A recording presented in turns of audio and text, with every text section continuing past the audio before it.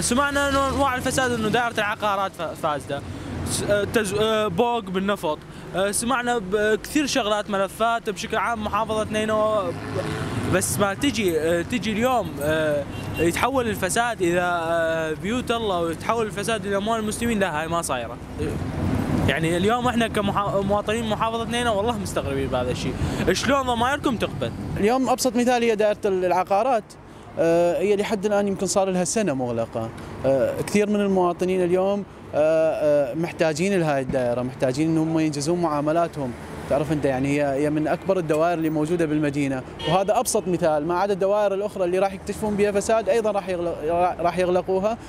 فهذا راح يشكل أكيد راح يشكل آه، ارتباك بوضع عمل هذه الدوائر. شيء طبيعي جدا إنه آه، commission ديني commission على جامع commission على مؤسسة على جامعة إسلامية.